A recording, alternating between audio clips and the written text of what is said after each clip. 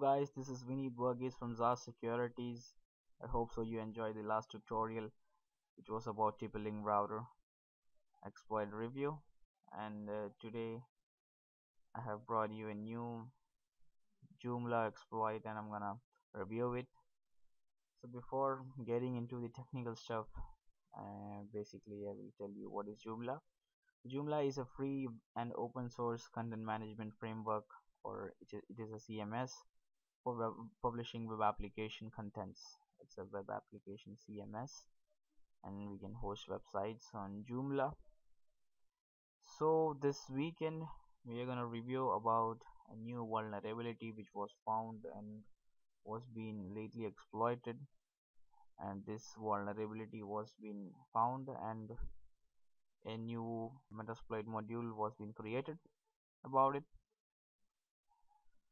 so I'm gonna review it and I will also try to exploit it. And at the end of the tutorial I'm gonna give you the solutions to patch or to fix this vulnerability. So let's start. So here is a VM of Kali Linux where I'm gonna host my attacks.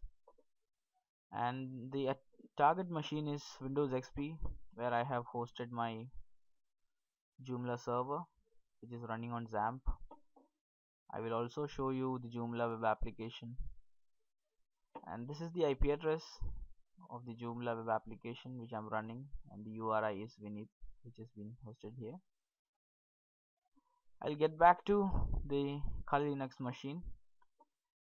And uh, here I have already set up a Metasploit console. So here we're gonna search for Joomla. Hope you guys are familiar with Metasploit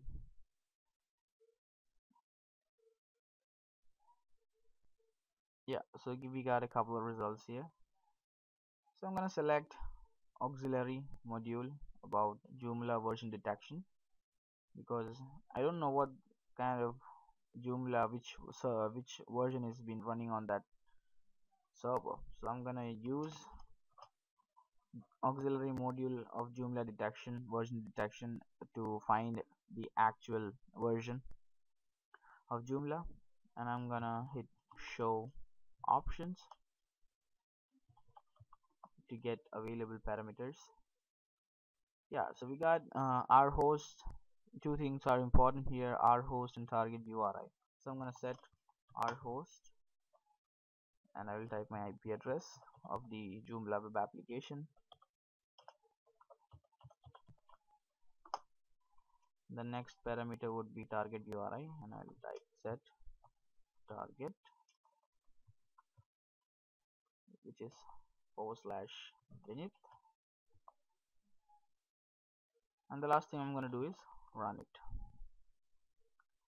Yeah so we got a Joomla version of 2.5.10 and the language is English as you can see. And uh, the OS which it is running on is Windows. So I'm gonna hit back.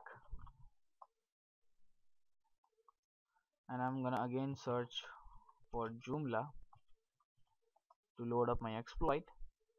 So here you can see exploit Unix web Joomla media upload execution so this is the exploit. I'm gonna copy it which was being rated excellent. I'm gonna use it.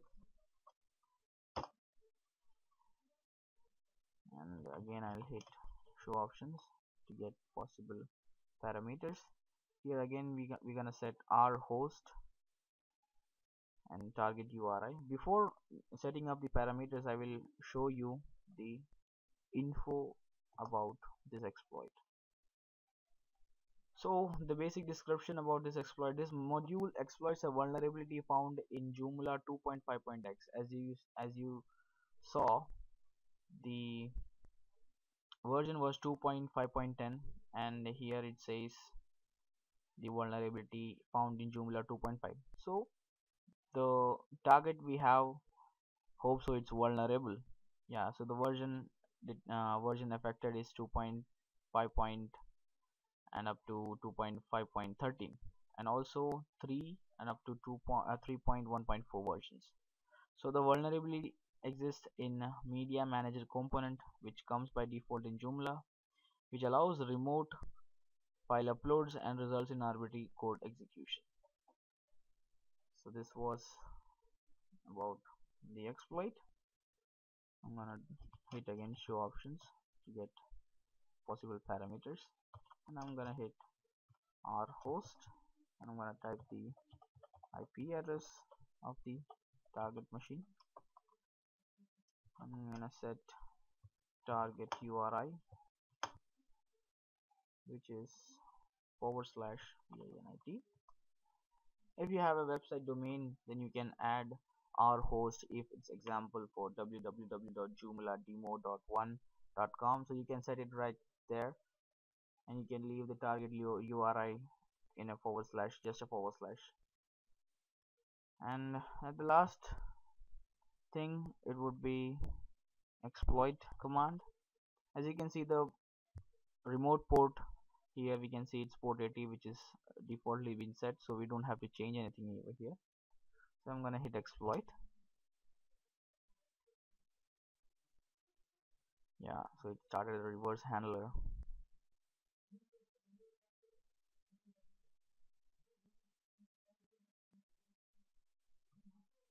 yeah bingo. So we got a Metapreter session here. So we will see what happened here. It was checking for access to the media and authentication wasn't required. Accessing the upload form and it uploaded the shell and it was directly executing the shell. As I said file upload vulnerability and uh, remote code execution.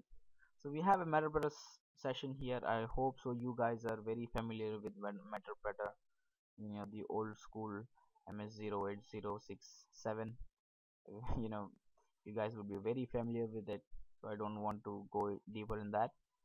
So the next thing I'm gonna do is sys info for a quick information gathering over this machine.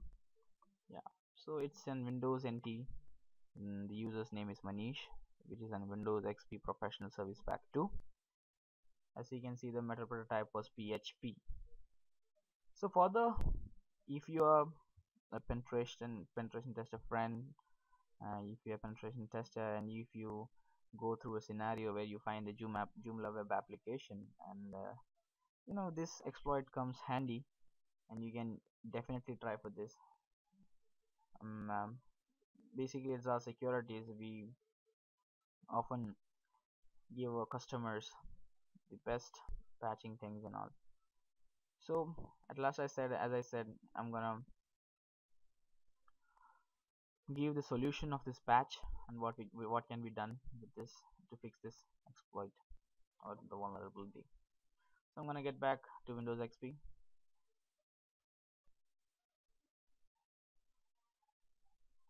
yeah so I'm gonna type administrator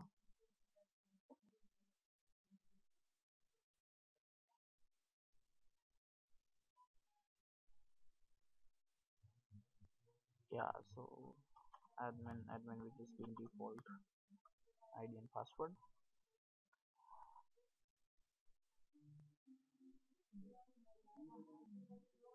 Uh, Joomla is being you know um, used by many people around and you can find many Joomla based web applications which is being hosted by Joomla.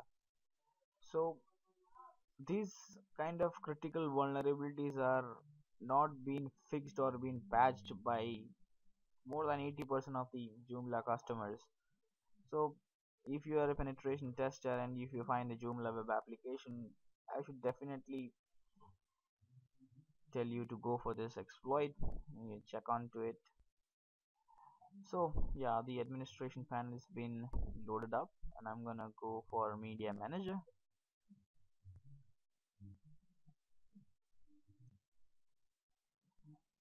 I'm gonna go for options.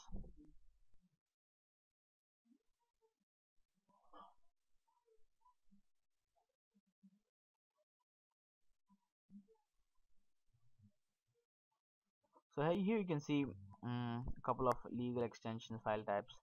So here you don't have to allow .php extension. And here as you can see the restriction uploads is being said no if you are a web application administrator you should definitely turn this to yes. And you should all only you know allow uploads you know with legal extensions not php which has been executed which can be executed very easily. So this was the main cause of the exploit because of the permission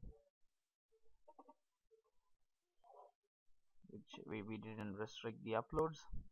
So here you can fix it by saying yes or you have another option by upgrading your Joomla version to 3.1.5 which is the new one. That would be a good option. So this was all about the new Joomla application vulnerability and this was a quick review about the exploit. Hope you guys enjoyed this and uh, hope we will bring many more exciting exploit reviews in future.